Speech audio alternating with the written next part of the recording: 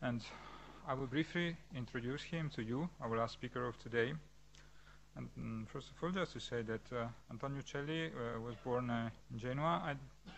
I will not say the year, but the day, because just maybe I can say that tomorrow is your birthday. And so, again, a lot of thanks for being here with us. At, just 30 years ago. of course, at least 30 years ago. And uh, in Genoa also, uh, Professor Uccelli obtained a medical degree and uh, um, then he specialized in, in neurology. When he, afterwards he was postdoctoral fellow in the Laboratory of Neuroimmunology of the Department of Neurology at the University of California in San Francisco with Professor Heuser. And then in 1993, uh, um, he had a, a, position in the Department of Neurology at the University of uh, Genoa. And now he is director of the neuroimmunology unit of this department, and his research activity focuses in particular, of course, on multiple sclerosis, and more recently on the topic uh, of the main topic of this speech, that is adult uh, stem cells. He had a lot of awards, in particular in 2001, uh, the Rita Levi Montalcini Award uh, as the best Italian researcher in the field of multiple sclerosis. And uh, um, he joined uh, also the Center for Excellence in Biomedical Research at the University of Genoa with Professor uh, Moretta. He was also director of the Neuroimmunobiology Laboratory of the Advanced Biotechnology Center in, uh, in uh, Genoa and also director of the Center for Research and Cure of Multiple Sclerosis in the University of uh, Genoa. He published very much and I'm sure that most of you uh, in particular those interested in, uh, in uh, multiple sclerosis and in general in the immunobiology on the central nervous system know many of his work and so I will not take much more time and I invite Professor Uccelli to give his speech. So thank you very much. Thank you, Marco, and uh, I really appreciate this uh, kind invitation. Uh, I, have been told that we can speak in English, and uh, uh, but please do not worry and and have this uh, talk as a very informal, you know, speech among friends, so you can interrupt me anytime. it's it, it's very nice to be here, and I apologize for being late. I mean, the traffic is. Uh, you know, a partial excuse. I, I left late. I was with patients until uh, late uh, uh, in the early afternoon, and I left Genoa at quarter to two. This is the main reason, but I, am glad I somehow I made it, and thank you for waiting. So, as Marco said, I'm a neurologist that in the last 10 years has started to be interested in uh, uh, stem cells, but from, uh, as you will see, from a, a rather different point of view, as uh, indeed, I didn't know much about uh, stem cells before I uh, realized that uh, these, uh, I mean, adult stem cells, and particularly those I will talk about, which are mesenchymal stem cells, are uh, endowed with the ability to to play with immune cells and and have an impact on their different functions. So let's just introduce the the topic, saying that at this stage, uh, uh, the, the current portfolio for the treatment of multiple sclerosis with stem cells include uh, hematopoietic stem cells, and uh, this treatment is based on the ability of uh, mobilize hematopoietic stem cells from the bone marrow, and uh, following you know, a, a, severe chemotherapy that leads to the ablation of the immune system will then result in the infusion of these cells with the aim of uh, reconstitute a, a, a, healthy immune system, at the same time eradicate autoimmunity, and possibly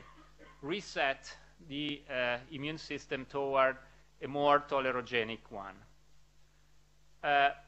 other cells uh, involved in, uh, or possibly involved in the treatment of multiple sclerosis are neuroprecursor cells, and uh, many of you know the work of Gianvito Martina and Stefano Pluchina San Raffaele Hospital, which, uh, who demonstrated that these uh, cells that can be obtained from the uh, brain, or particularly the particular areas of the brain can be expanded in vitro and injected intravenously, leading to,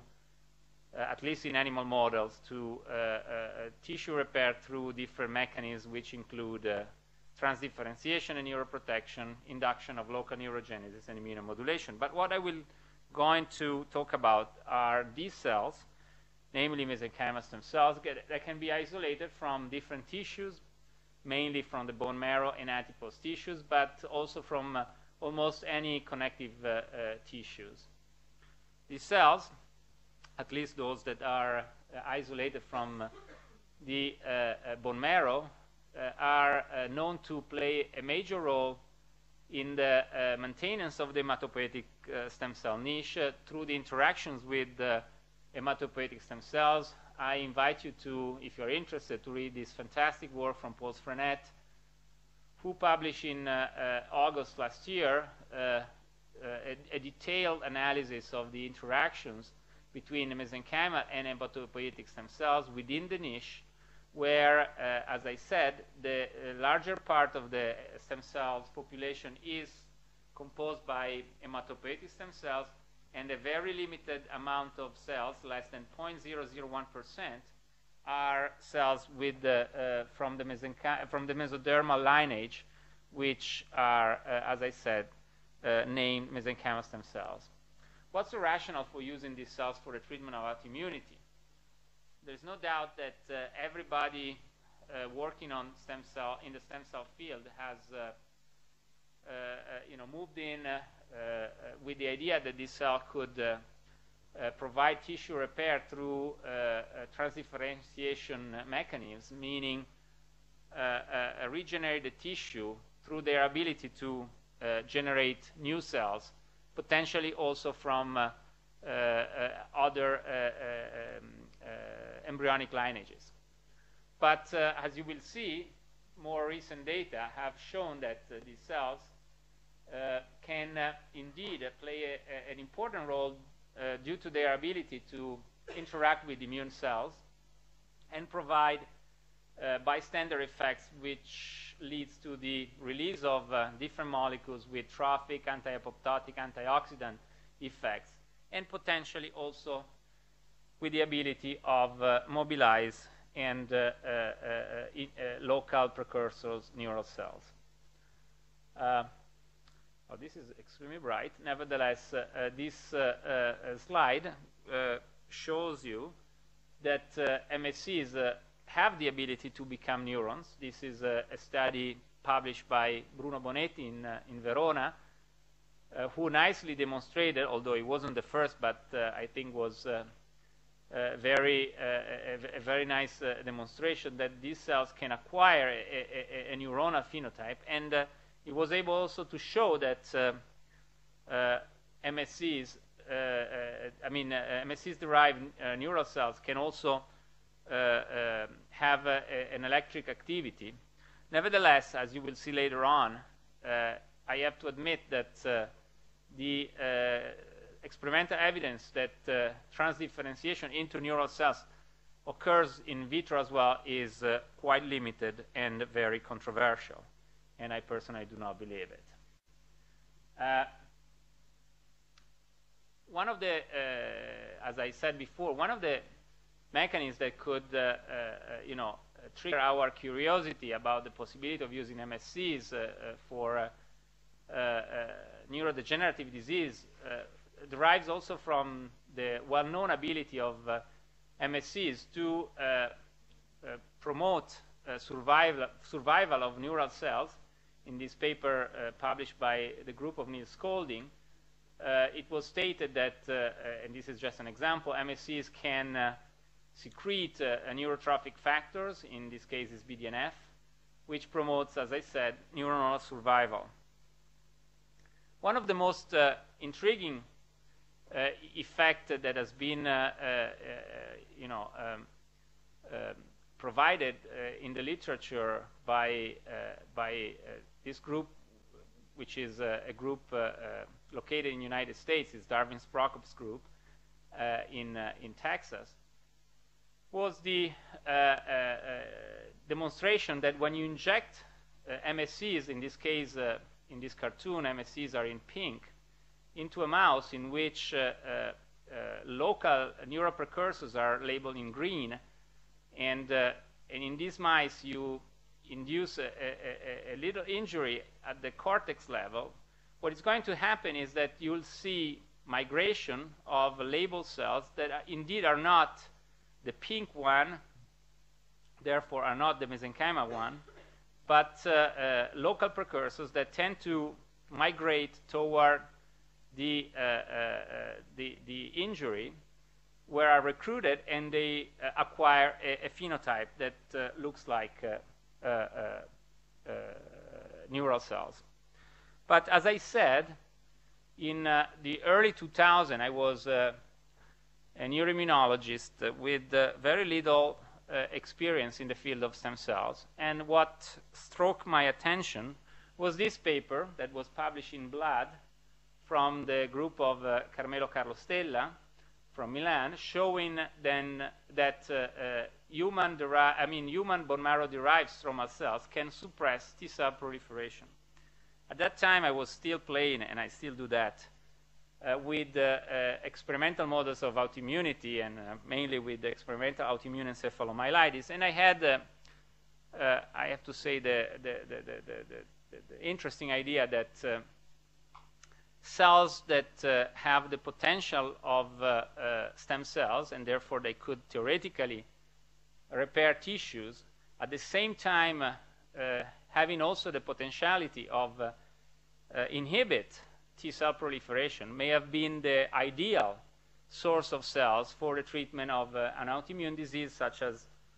EAE and possibly multiple sclerosis because indeed, it, as far as we know, in this disease, T cell activation and B cell activation and other immune cells activation leads to myelin damage, as you heard these days, and uh, uh, final destruction and therefore neurodegeneration. So here is uh, a, a, a post-hoc uh, recapitulation of the roadmap that uh, led uh, from the very beginning to demonstrating that MSCs can indeed modulate different aspects of the immune response, uh, uh, allow, based on this uh, evidence, the, demonstrating that MSCs can treat experimental autoimmune encephalomyelitis, to then uh, further dissect the mechanism of action of these uh, effects through different aspects that I will go through in the next slides. And then, if that was the case, and luckily that was the case, to demonstrate that MSCs can be utilized in humans in a safe way, then uh, have uh, enough uh, scientific uh, you know, evidence of such results to generate a consensus about their use in humans and uh, at the end has uh, it happened to be the case to design the ultimate clinical trial. So let's go through all these steps to show you that indeed MSCs can inhibit T cell proliferation. This paper from uh, uh, Federica in the lab demonstrated that uh, when you challenge T cell trigger with anti-CD3, anti-CD28, which leads to as expected to T cell proliferation. In the presence of MSCs, you will see a, a significant inhibition in a dose-dependent manner, which is uh, poorly responsive to IL-2 administration. And this effect is due to the fact that, uh, as demonstrated here by the intracellular uh, uh detection of Ki67, which is a protein associated with all the different cell cycles of the uh, of cell division exclude, excluded the, the uh, uh, G0 phase, it's, it, it's indeed due to inhibition of cell division. So basically, the cells are not killed, as you see here, showing that uh, MSCs do not induce apoptosis, but they are inhibited in their ability to enter the cell cycle, and they are freeze in the G0 phase of the cell cycle. Uh, more or less at the same time, actually this paper was published before in collaboration with uh, Vito Pistoia and uh, uh, Anna Corcione, we were able to show that MSCs can also inhibit a number of uh, B cell functions in vitro. In this case, you see that uh, B cell proliferation is inhibited significantly by in a dose-dependent manner by mesenchymal stem cells. And this uh, uh, leads to, I apologize because the, the, the, light is so bright that here you don't see basically the column of the graph, but I, I can tell you that there, are, there is a graph, and you can even look at the paper, but uh, uh, you can just see the, the, the, dots on top. But nevertheless, uh, what is shown here is that, wait a second, maybe I can decrease the brightness. No, actually what happens is that I don't see here anything, but you still see a, a very bright screen there. Uh, nevertheless, uh, MSCs can inhibit also the production of uh, all the different subclasses of immunoglobulins, as well as the differentiation to plasma cells. Oh. Uh, in a more recent uh, uh, uh study, uh, Sabrina Chiesa in the lab decided to address the ability of MSCs to interact with dendritic cells. And these experiments were in part confirmatory,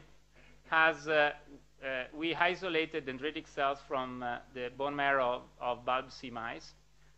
and uh, Uh, we uh, subjected these. Uh,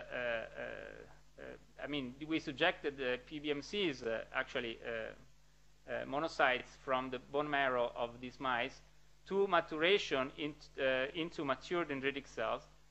either in the presence or the absence of mesenchymal stem cells. Or alternatively, we took mature dendritic, dendritic cells and we activated them either in the presence or in the absence of mesenchymal stem cells. The data I will present you have been, uh, uh, uh, that I will show you, are exclusively uh, uh, showing the effect of the presence of MSCs when we provide them during activation with LPS, but similar results were obtained when MSCs were uh, add into the culture while we were uh, subjecting monocytes into maturation uh, to mature dendritic cells. So in this study, we confirm what it was already known, that mesenchymal stem cells can impair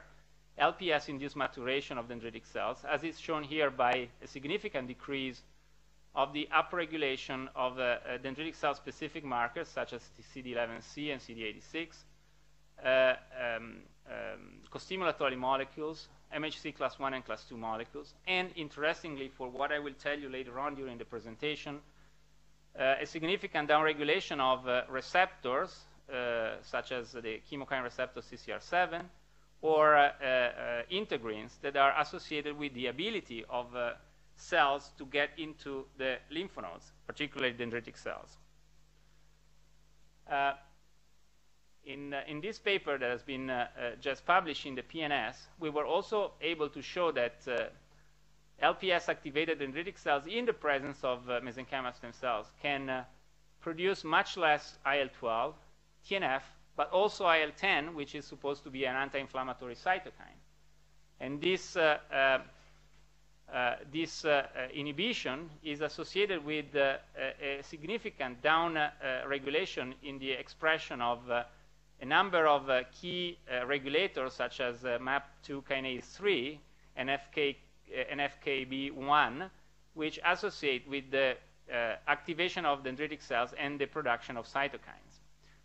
And uh, this uh, indeed is, as I said, associated with a significant inhibition of the phosphorylation of intracellular kinases involved in cytokine production.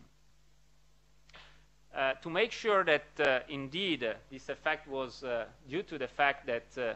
MSCs uh, are able to uh, inhibit the pathway involved with LPS activation, we first demonstrated, as it was already known, that uh, that mesenchymal stem cells have express all the different toll-like receptors involved in in the that are important for the uh, signaling through LPS. This was required by one of the reviewers. But uh, more importantly, we were able to demonstrate that uh, this effect does not require cell-to-cell interaction, but uh, is uh, uh, sufficiently mediated by supernatants from mesenchymal stem cells, as is demonstrated here, where the inhibition occurs Uh, similarly, uh, regardless of the fact that uh, cells are in contact or are just exposed to mesenchymal stem cells supernatants. Another thing that is very important for uh, the uh, dendritic cells' ability to uh, perform their functions, of course, is the capability of processing antigens and uh, with the help of uh, uh, antibodies provided to us by Soldano Ferrone in New York, we evaluated the intracellular expression of some molecules such as MB1 and LMP10, which are involved in the immunoproteasome or the proteasome as well inside the cytoplasm of uh, uh, dendritic cells. And as you can see here, the expression of uh, the intracellular expression of uh, LMP10 as well as uh, MB1 is significantly decreased by the exposure of dendritic cells to mesenchymal stem cells, uh, in contrast to what you observe in the, uh, control disease or control cells. So overall, these results are telling us that uh, MSCs appear to affect the expression, the surface expression of uh, key molecules involved in, uh, uh, uh in the ability of uh, dendritic cells to present antigens, both, uh,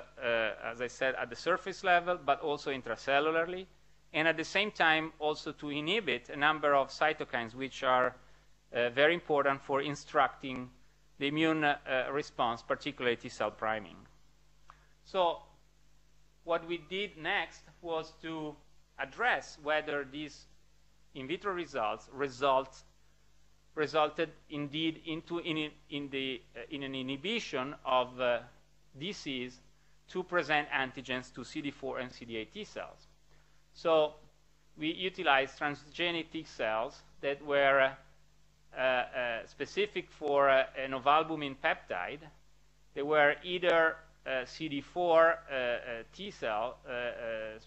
transgenic T cells from the O1110 or transgenic CD8 T cells isolated from OT1 that are all specific for the same peptide over ovalbumin. These cells were sorted and labeled with CFSE and therefore were uh, uh,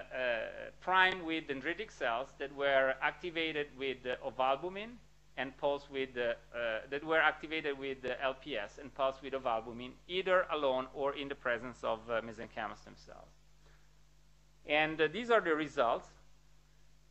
And interestingly, we confirm, as expected, that in the presence of uh, mesenchymal stem cells, dendritic cells uh, uh,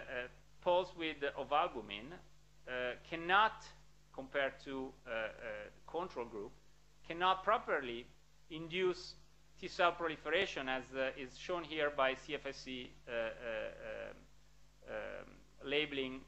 at flow cytometry. And this is a, a dose dependent in these T cell priming experiments.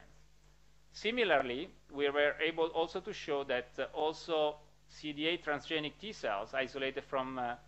uh, OT1 uh, mice were significantly inhibited in their proliferation when disease were exposed to mesenchymal stem cells in vitro compared to controls. So uh, somehow, a few years ago, uh, we were able to provide an attempt to an, a, a, tentative cartoon showing how mesenchymal stem cells can uh, affect different immune responses, particularly for what concerns their ability to inhibit the cell, dendritic cells maturation, leading to an accumulation of immature dendritic cells. This will uh, uh, eventually uh, lead to a defective antigen presentation to CD4 and CD8 T cells. But uh, uh, as I showed you before, MSCs do not only have uh, an effect on the acquired immunity through an inhibition of mature dendritic cells and therefore accumulation of telurogenic disease, but also have a, a direct effect through the inhibition of proliferation of CD4 and CD8 T cells, and also an inhibition of proliferation of B cells. And we can also, although this is still yet unproven formally, we can uh, uh, predict that uh, uh the inhibited uh, uh, T cells are likely to be unable to provide help to B cells. And as you know, B cells need T cell help to produce antibodies. So altogether, this is a quite complex interplay in which MSCs act both on the uh, innate side of immunity and on the adaptive side of the immunity, and at the same time, this effect is probably uh, uh, tightly connected. So how can we transfer this uh, uh, relatively large amount of in vitro studies into uh, a clinical translation? Of course, to do that, we first have to uh, uh, you know, uh, challenge it into the proper animal models. And being a, a neuroimmunologist interested in multiple sclerosis, we choose experimental autoimmune encephalomyelitis, which is a prototypical, although not perfect, model for uh, uh, autoimmunity. And uh, in 2005, we, I'm proud to say we were the first ones to show that when, once again here, you, can, you need to imagine the curves, but uh, when we injected intravenously at disease onset or at the peak of disease mesenchymal stem cells into animals with EAE, we obtain a significant amelioration. Uh, here we are uh, basically missing, there is up here a very, a, a, lighter gray curve, which is the control that, uh, please believe me, is there. And, uh, and interestingly, this uh, effect was not observed when uh, mesenchymal stem cells were intravenously injected at later phases of disease, suggesting that indeed we need to impact the acute onset of the immune response to be able to obtain clinical results, which were not detected when this was uh, uh, uh when the injections was performed at later phases when uh, most likely an irreversible disability or an irreversible damage of the central nervous system was already occurred. I think that the most exciting part that make us, uh, uh, I mean, that made this paper the, the, most quoted, the most cited in the literature in this field, was that uh, for the first time we were able to show that this effect was at least partially due to the ability of mesenchymal stem cells to induce in vivo tolerance. And how this was demonstrated? Quite easily, isolating T cells from the lymph nodes and the spleen of mice treated with uh, uh, mesenchymal stem cells or controls and uh, re-challenge these cells with myelin oligodendrocyte glycoprotein, which is the antigen we utilize to induce EAE. And as expected and as, well known, control mice have a, a high number of uh, precursor cells that are specific for myelin oligodendrocyte glycoprotein because has been, have been primed following MOG induction. And uh, as expected, these cells proliferate. But those cells isolated from the spleen and lymph nodes of mice that were treated intravenously with MSCs were not responding anymore, demonstrating that indeed T cells from animals treated with MSCs cannot respond anymore to the immunizing myelin antigen. Later on, we confirmed these results in a different model, which is uh, still an EAE model induced with uh, PLP in SJL, which is uh, typically a relapsing remitting model of uh, autoimmunity. In this mouse, we were able to confirm that MSCs can uh, colonize to a certain level the spleen and the lymph nodes of uh, the cervical lymph nodes of the mice, and this was confirmed also by histology. But the most uh, interesting part of the immunological side, of the immunological section of that study was that for the first time we were able to show that also the in vivo B cell response was inhibited. In this case, we measure the antibody of all the different subclasses of IgG specific for PLP in mice uh, uh, treated with mesenchymal stem cells in white and controls in black. And once again, in the animals treated with MSCs, we could not observe, or we observed a, a lower levels of uh, pathogenic PLP-specific uh, um, uh, antibodies. So I think that this data suffices to say, suffice to say that uh, MSCs are a, a potent immunomodulatory treatment for EAE, but a major question at that time still remain unsolved, which is are MSCs uh, capable of uh, uh, uh, of replace cells, and therefore is this uh, therapeutic effect based on cell replacement? Okay, one of the big issues here is uh, are these, I mean, there is a, a, a, a constant uh, thought by scientists that MSCs, has many other immune, uh, stem cells, are immunoprivileged. What is the basis for this uh, uh thinking? Okay, uh, one of the major uh, reasons to believe that is that when we used human MSCs, as this paper published by Jacques Galipeau's group a couple of years ago, or this data uh, produced in our lab, when we use human MSCs, we can still inhibit significantly EAE. Therefore, showing that at least to a certain level, MSCs can work through across MHC constraints because you may expect that uh, injected MSCs are rejected, human uh, MSCs are rejected into mice. Is this the case? Yes, it is the case. In fact, uh, in this paper, again from Jacques Galipeau, uh, forget about the details, which is a quite sophisticated study, but what uh, you may just uh, uh, want to take home as a message is that uh, these cells are rejected by MHC class 1 and class 2 mismatched recipient mice. And the clinical effects that was observed in this case is rapidly lost uh, over time. So what we observe in EAE is that human MSCs appear to work, but on the other side, we have evidence that they seem to be uh, wiped out following injection. Why they are wiped out? For example, because uh, uh Lorenzo Moretta in, uh, here, in, uh, here,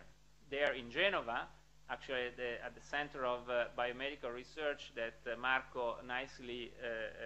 quoted, but unfortunately it doesn't exist anymore because of the flooding we had in Genova 10 days ago, and uh, we have over 5 million euros of damage, and all the lab is gone. But in that lab, at that time, Lorenzo was able to show that MSCs are killed by NK cells, and still in that lab, Federica, in collaboration with uh, with uh, Vito Pistoia was able to show that also gamma delta can lyse uh, mesenchymal stem cells as long as NK and gamma delta are activated. So it seems that on one side we have a clinical effect when human MSCs are injected. On the other side, we have evidence that after a while these cells are killed and are rejected, mainly due to the capability of uh, cells of the innate immunity to kill them. Another aspect that stays against the ability of these cells to engraft and uh, replace cells is due to the fact that uh, it is well known since uh, early 2000 that uh, MSCs following intravenous injection are uh, sequestered and entrapped mainly inside the lungs. Uh, this has been addressed by several uh, people in, uh, in different labs, and depending on the results published in the literature, we go from 80% up to 99% of MSCs entrapped in the lungs once they are injected. And this is telling you indirectly something quite important, that it is quite unlikely that cells that stays for more than 90% in the lungs can somehow provide you such a strong effect when eventually they reach the central nervous system, particularly because once we work, if we work in, a, a, a, in xenogenic or allogeneic conditions, they are uh, rejected as you saw in the previous slides. So if we inject it intravenously, most of the cells are in, uh, in, uh, uh are in, uh, entrapped into the lungs. So many people, particularly those interested in the clinical translation of this data, suggested, why don't you inject it intrathecally? So you do what you would do to a, a human, uh, to, a, to an MS patient, why don't you inject it through lumbar puncture inside the, uh, the cerebrospinal fluid in the case of, of uh, humans, and in this case we're injected intrathecally through uh, the uh, injection of a, a, catheter into the uh, ventricles of mice. And Sarah in the lab was uh, able to address this question, injecting MSCs either intravenously or intracisternally, and compare this effect with uh, mice, control mice injected with PBS intraventricularly, uh, intravenously or intracisternally. And as you can see here, both uh, treatments were effective compared to controls, but uh, we could not observe any evidence of difference in, uh, between the two different routes of administration, suggesting that, at least from a clinical point of view, intracisternal and intravenous injections appear to be equally effective. Similarly, we look at histological scores, and uh, also when we look at demyelination, it seemed that uh, both treatments were effective, but uh, did not result in, in, any significant difference. Of course, uh, we addressed the possibility that uh, there is a, a, an higher engraftment when we injected cells intra, uh, I mean locally, intracisternally, and as expected, after 24 hours, the number of uh, labeled cells into the central nervous system of mice injected intracisternally is uh, certainly higher than, uh, uh than those injected intraventricular, intravenously. But I apologize, here I don't see that this is after 24 hours and this is after 40 days. But as you can see, after 40 days, the number, the total number of cells, despite being higher in uh, intracisternally injected mice is uh, uh, significantly vanishing, as you can see here, over 150 cells, and here um, a little bit more than 20 cells as an average. And, and, and therefore, this uh, suggested that uh, despite a, a, slightly more effective engraftment when cells are injected intra intracisternally, so locally, we really do not achieve any evidence of, clinical, of, of uh, better clinical efficacy or histological scores. And what was interesting to us was uh, the demonstration that uh,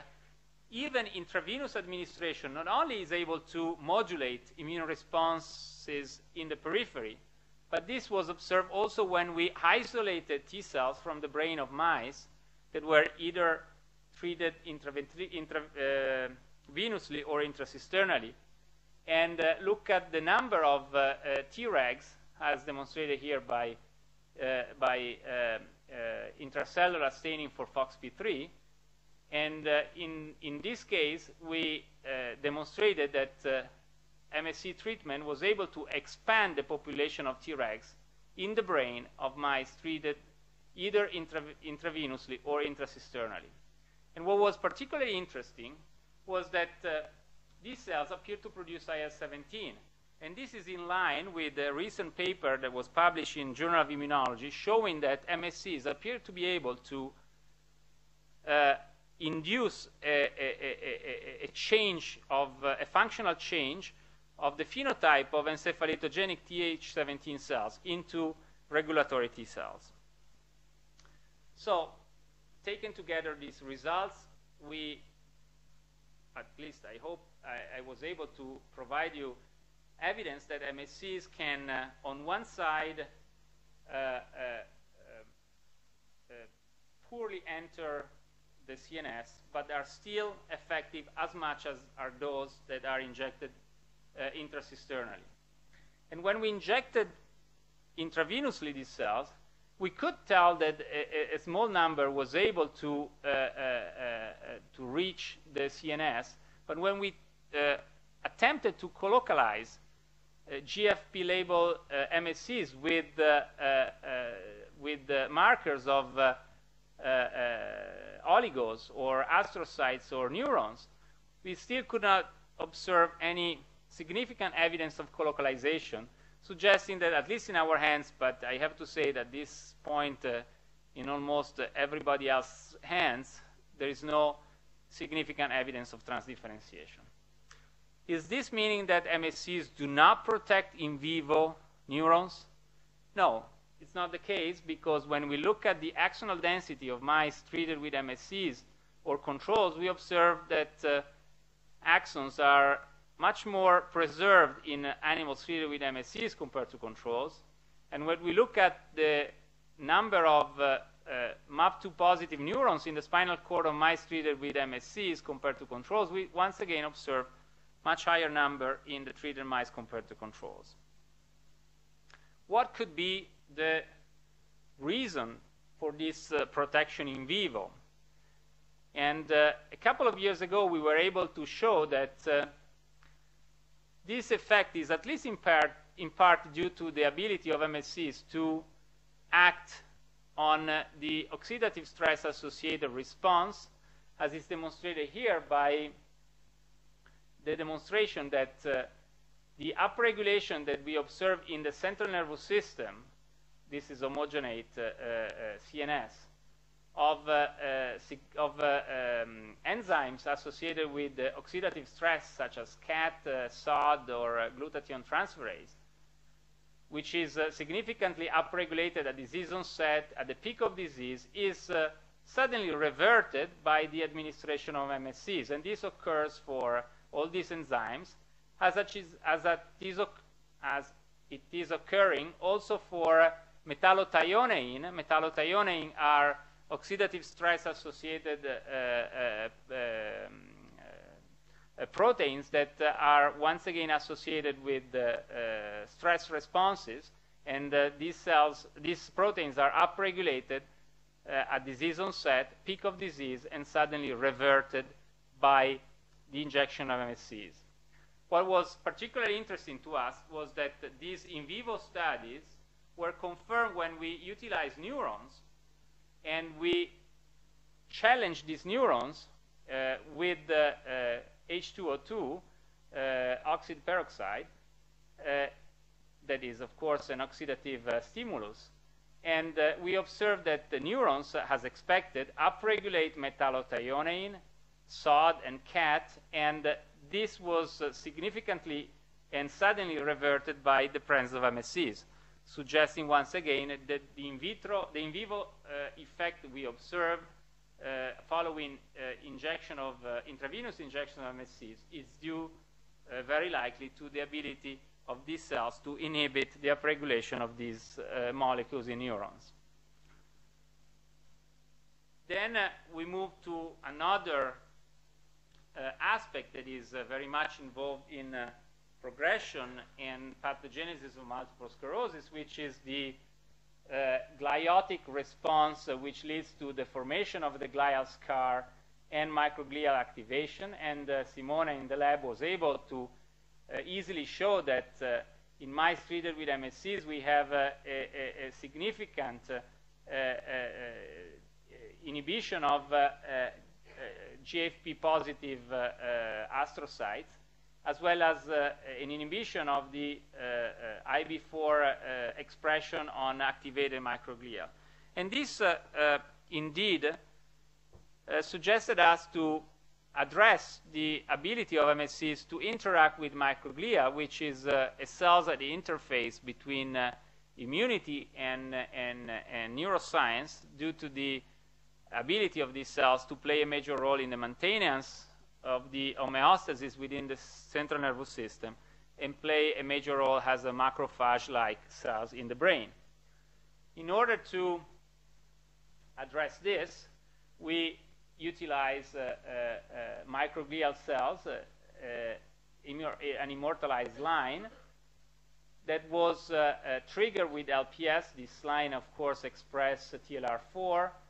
and uh, we look at the uh, effect of the uh, co-culture with mesenchymal stem cells when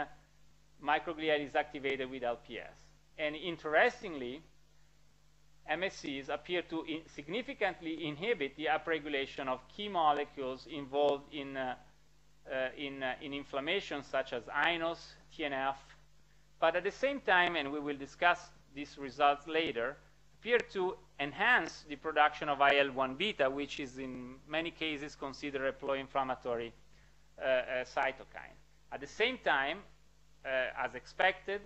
uh, uh, stress-associated proteins such as metallothioneins, hemioxygenase, or PARP is once again inhibited by the presence of MSCs compared to controls. What was interesting that not only MSCs appear to inhibit the secretion of pro-inflammatory cytokines or pro-inflammatory molecules, but appear to switch the ability of uh, the uh, microglia to express receptors or molecules which are associated with neuroprotective functions by microglia. CX3CR1 is the receptor for a chemokine uh, previously known as fractalkine, which has been associated, as we will see later on, with a, a, strongly protective effect by microglia. And as you see here, the presence of MSCs appear to enhance the expression of uh, CX, CX3CR1 on microglia. NAR1 was uh, recently uh, demonstrated in a, a, beautiful paper published in Cell to be involved in the ability of microglial cells to protect dopaminergic neurons following uh, different inflammatory insults. And as you can see here, once again, microglia is, uh, uh, have an increased ability to produce NAR1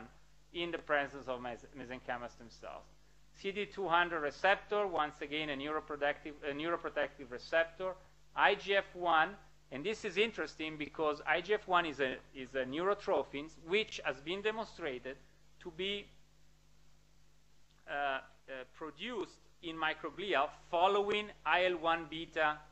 stimuli. And this, in our opinion, could uh, explain why IL-1 beta in microglia is enhanced, is, uh, uh, is uh, overexpressed. In EP2 is a receptor for prostaglandin 2, which is once again a, an immunomodulatory molecule. So on one side, at least in terms of uh, phenotype and, uh, uh, and mRNA profile, it seems that MSCs are able to switch the phenotype of uh, microglia from uh, a pro-inflammatory one to a, a, a, a, neuroprotective one. Is this affecting functionally uh, uh, uh microglia functions, I mean uh, microglia features? Yes, it, it, it is uh, affecting uh, microglia uh, functions, as is demonstrated by the fact that in the presence of mesenchymal stem cells, microglia activated with LPS enhance its uh, intracellular calcium concentration, enhance phagocytosis, and enhance TREM2 expression. TREM2 expression is a, a, receptor which is expressed by myeloid cells and which has been associated by Harold Neumann and Marco Colonna as a, a receptor involved in the beneficial phagocytosis of uh, uh, microglia of myelin, myelin debris in the CNS, contributing to CNS homeostasis. So based on the results we observed uh, following uh, exposure of uh, microglial cells to, uh, to MSCs, we were triggered by the extreme upregulation of the fractalkine receptor on the surface and at the mRNA level in microglial cells. Why we were struck by these results? Because uh, Richard Ransoff, a few years ago, published in Nature Neuroscience a very interesting paper showing that CX3CL1, namely fractalkine, expressed by neurons, can modulate the activity of CX3CR1 positive microglia, and this, disruption of this axis is associated with neurotoxicity in mouse with, uh, uh, affected by different uh, uh, mechanism of neurodegeneration. So we were curious to see whether MSCs can produce fractalkine. In a steady state condition, MSCs appear not to produce or produce very little fractalkine. But once we trigger or we expose MSCs to inflammatory condition, which could be the case in, uh, in inflamed CNS, we observe rapidly a significant upregulation both at the mRNA and protein level of uh, fractalkine. So we thought, is this a key molecules involved in the interactions between MSCs and microglia? We decided to silence fractalkine in microglia, and uh, as we hoped, we observed that uh, the effect of observed in the downregulation of TNF is partially reverted, but more importantly, is completely reverted in the case of IL-1 beta, is completely reverted in the case of uh, the uh, fractalkine receptor, NAR1, EP2. So once uh, we utilize in these experiments MSC's silence for the fractalkine, for fractalkine, we could observe that MSCs were not effective anymore in uh, providing a neuroprotective or anti-inflammatory effects on uh, microglial cells. Not only these results were observed uh, at the phenotypical and, uh, and mRNA level, but also functionally. Once again, silenced MSCs were not able to enhance the intracellular level of calcium, were uh, unable to enhance phagocytosis or enhance the expression of TREM2. Suggesting that indeed MSCs may affect microglia function through the release of fractalkine. And to further prove, prove that this was the case, not only we silenced fractalkine, but we tried to recapitulate all those experiments, not using any more MSCs, but adding exogenous fractalkine in uh, uh, microglia experiments. And once again, the addition of uh, fractalkine uh, partially reverted the uh, upregulation of TNF, significantly enhanced the uh, uh, IL-1 beta, enhanced the expression of the receptor for fractal fractalkine, NUR1, EP2, and uh, similar results were observed also when we look at the function, functionality of, of microglia. So the results of this section of our work is telling us that MSCs uh, uh, in microglia interaction lead to the inhibition of the production of pro-inflammatory molecules and at the same time enhance molecules associated to neuroprotection. Importantly, as it is well known, and there are very nice uh, papers, and there is a recent uh, uh, uh there is an, a recent review Nature Reviews in Immunology on microglia they, they seem to dissociate two different functions of microglia. On one side, those functions involved with uh, protection from uh, microbes. So those, uh, those uh, functions that seem to be involved in the protection following inflammatory insults that are dampened by the presence of MSCs. But at the same time, they seem to enhance all those functions involved with the homeostasis of CNS, such as phagocytosis, which is involved in the maintenance of a clean and healthy CNS. So we like to, you know, play this little cartoon showing that uh, MSCs can, on one side, inhibit bad microglia and, uh, uh, and foster the appearance of a good microglia. So if we would like to, uh, uh, altogether, uh, attempt to uh, uh, you know, design a scenario about MSC's function in terms of neuroprotection, we may believe that MSCs can inhibit activation of microglia and potentially induce the generation of uh, uh, uh, microglia with the neuroprotective abilities. They can inhibit the astrocytic proliferation leading to glial scarring they can potentially inhibit uh, uh, uh, the apoptosis of damaged neurons, neurons damaged by macrophage or by immune cells. And, and I didn't address this because we were not directly involved in this, but there are interesting evidence, mainly from uh, uh, Bob Miller, uh, the Cleveland Clinic, and and and uh, from uh, Ludwig Eigner in Munich, showing that uh, MSCs can both in vitro and in vivo enhance oligodendrogenesis, and potentially, as I showed you before, in, enhance local neurogenesis. So I hope I was able to show you that MSCs can, on one side, modulate pathogenic immune response, on the other side, protect uh, CNS uh, or neural cells through different uh, uh, mechanisms, but I still challenge you with the idea that we went through a, a significant change or, or switch of the paradigm that uh, started from the idea that MSCs could uh, transdifferentiate and, and uh, uh, repair tissues. Then with the idea that MSCs get to the CNS and release factors in a paracrine way that uh, can uh, modulate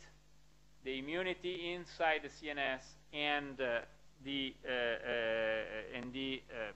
you know the, the immune responses leading to damage of the CNS to a, a, a different step,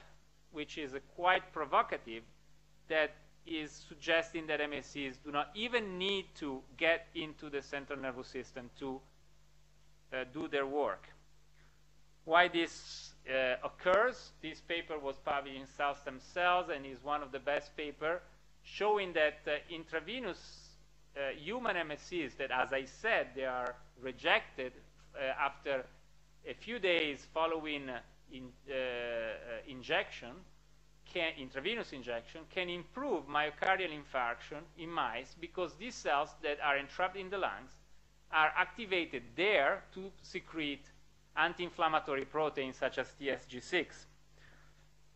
In another paper published in Nature Medicine, Eva Mazzei was able to show that bone marrow-derived MSCs once again are entrapped in the lungs. And over there, they interact with macrophage, which are reprogrammed in a very similar way to what we observe for microglial cells. So, so they are induced to switch from an M1 to an M2 phenotype. And this leads to a complete attenuation of sepsis. So uh, this year we were able to provide a, a new provocative uh, uh, idea uh, suggesting that MSCs can, be, can be injected intravenously. And once they reach the uh, lungs, they are interacting with other cells. And it's interesting because I know here there are people very much interested in, uh, in the interactions between uh, immune cells and, and the vagus nerve. And we are currently addressing the possibility that vagus is mediating some of the mechanism of uh, uh, of action of MSCs on immune cells. And from this station, uh, in part migrate, but in a very limited way, to target organs, such as the CNS or lymph nodes or the myocardium, but very much leading to a significant uh, uh, uh, modification of the of the um, of the a modification of the environment of the recipient leading to therapeutic uh, uh, results. And how we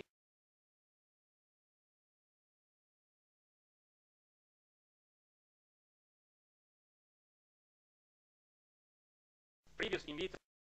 very novel, in our opinion, exciting results we obtained in vivo, addressing the effect of mesenchymal stem cells on dendritic cells. In this case, we isolated transgenic T cells from uh, DO11 mice, which are specific for the ovalbumin peptide 323, um, uh, well, I can see whatever, from an ovalbumin peptide. These cells were isolated and labeled with CFSE, were injected intravenously in, uh, uh, into syngeneic BALB/c mice. So let's picture this phase of the experiment. Here we have labeled naive T cells, which are specific for ovalbumin, that are injected into a naive BALB/c mouse that was never challenged with ovalbumin. 24 hours later, activated dendritic cells pulsed with ovalbumin were injected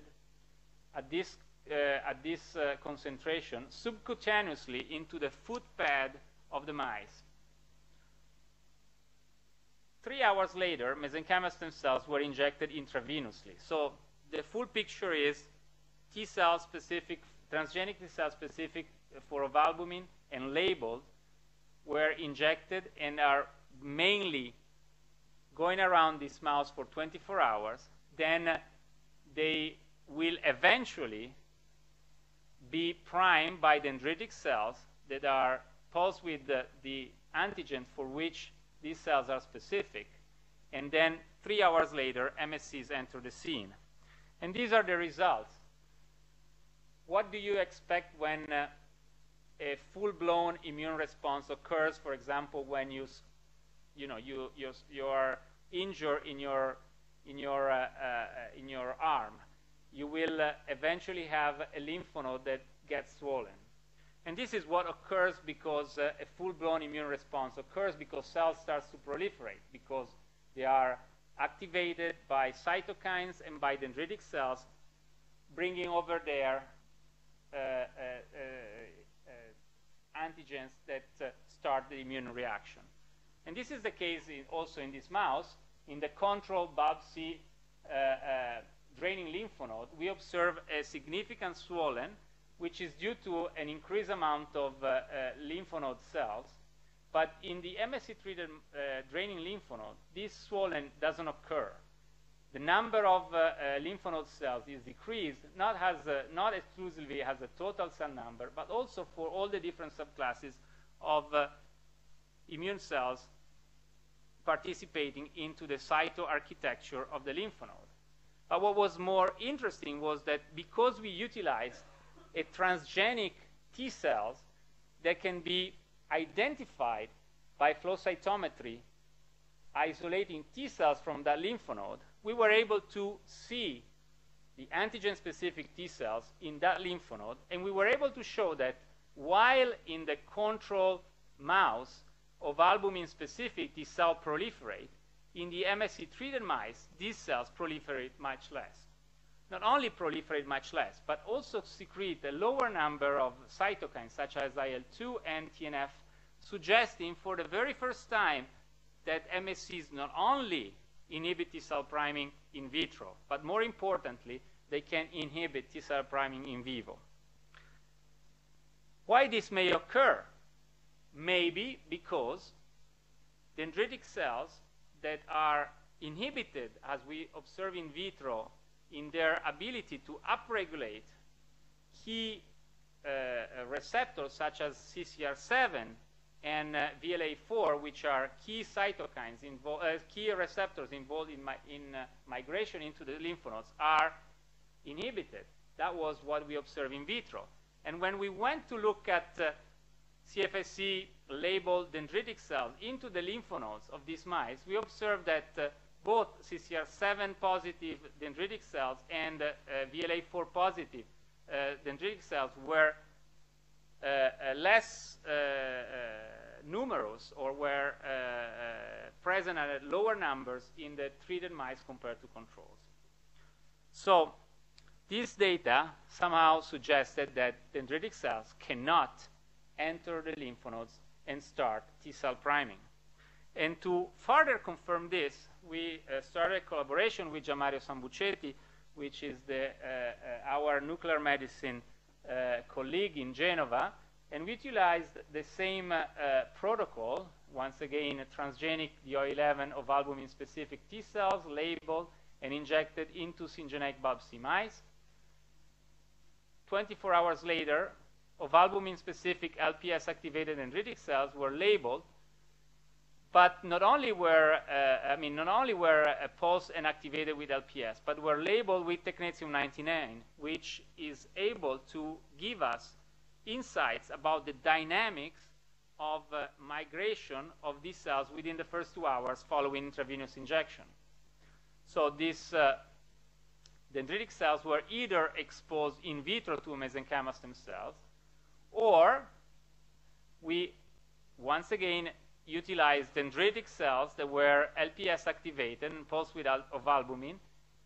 injected, uh, labeled with technetium-99, and injected into the foot pad subcutaneously of these mice. And 15 minutes later, MSCs were injected. So let's see what happens. And uh, in our opinion, this is extremely exciting. These are the results when we look at numbers of dendritic cells entrapped at the level of the, at the site of injection. Let's see what occurs for negative controls. In the negative controls, we mean dendritic cells that were injected into a mouse in which no transgenic T cell receptor uh, OVA-specific T cells were previously injected. And as you can see here, the kinetic of release from the site of injection of dendritic cells is uh, following a relatively uh, flat curve. Let's see what occurs when positive control cells are uh, I mean, in the positive control group. In the positive control group is uh, the group where dendritic cells are injected subcutaneously into a mouse in which transgenic T cells are present. And uh, as you can see here, dendritic cells seems to move toward the lymph node very rapidly suggesting that somehow they can sense T cells that are able to recognize the antigens they are carrying on their back. Let's see what occurs in when MSCs enter the scene. In the in vitro treated dendritic cells, so dendritic cells that were exposed to dendritic to mesenchymal stem cells in vitro, we observe a curve that uh, is pretty much similar to what occurs in the negative controls. I like to call these cells the sloppy dendritic cells because they are kind of, you know, not very, you know, not very fast into in their ability to move into the lymph nodes. And uh, as you can see here, this is their slope. What happens when we injected mesenchymal cells in vivo? This is uh, really exciting. As expected, in the first 50 minutes, they behave as it as is the case for the positive control, because in this first 15 minutes, DCs enter a scene where there are just T cells circulating which are specific for ovalbumin. But after a few minutes, uh, mesenchymal stem cells were intravenously injected. The ability of uh, dendritic cells to be released from the, uh, uh, from the site of injection and moving toward the draining lymph node is completely abrogated. So it seems that within five minutes, MSCs that uh, uh, are uh, injected intravenously, they are entrapped into the lungs, are able to inhibit the ability of disease that are very far away from the lungs, that are entrapped into the subcutaneous tissues of the foot pad, are capable of uh, completely abrogating the ability of this disease to move into the draining lymph node. Let's see the same experiment the other way around. Here we are basically measuring the number of cells that have entered the draining lymph node. Once again, negative control uh, move uh, into the draining lymph node according to a relatively flat curve. Positive control, they get into the lymph node very eagerly, very fast. Sloppy disease, which have been exposed to mesenchymal stem cells in vitro, move into the drain lymph, node in a very slow way, similar to the negative control. Uh, dendritic cells exposed in vivo to mesenchymal stem cells. Once again, first 20-25 minutes, they behave like the negative control. But 10-15 minutes later, IV MSCs were injected, they, their ability to enter the lymph nodes is completely abrogated. So it seems that we are really changing the paradigm of effects of uh, mesenchymal stem cells, suggesting that MSCs, to be able to change uh, the immune function, do not need to interact directly with MSCs, uh, with the immune cells, but they can significantly impact the behavior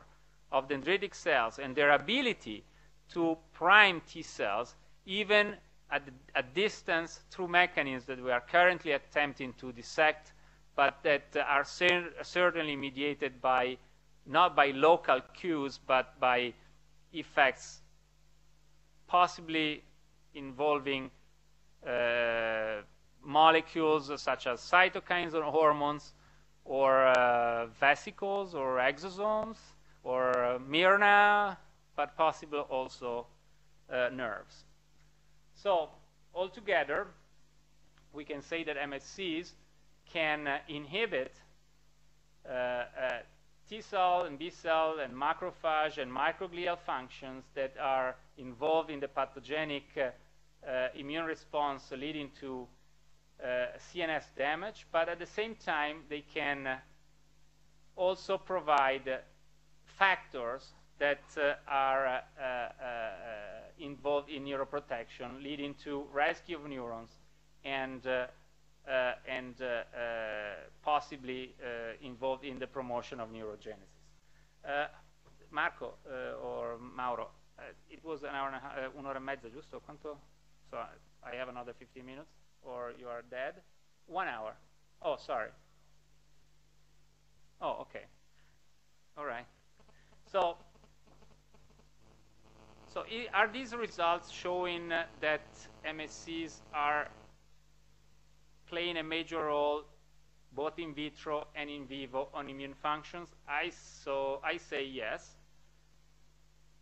Is there is evidence that neuroprotective effects are good enough to demonstrate uh, a significant therapeutic effect provided by MSCs? We don't know.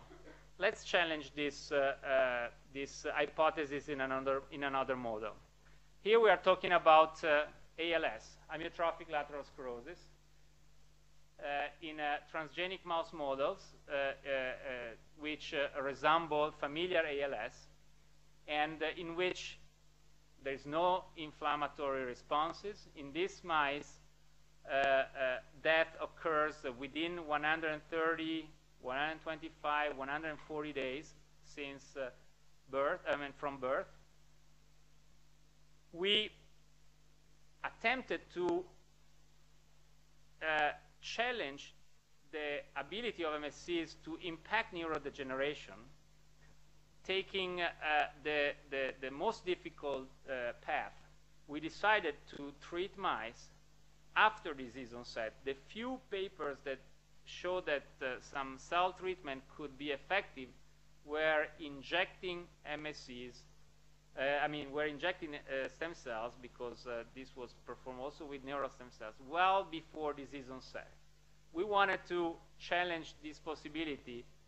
mimicking a situation that would occur in humans in which you will treat patients after disease onset. So we injected MSCs at day 90, about 30 days after disease onset has occurred. And uh, this is a Kaplan-Meier curve showing that MSCs can uh, significantly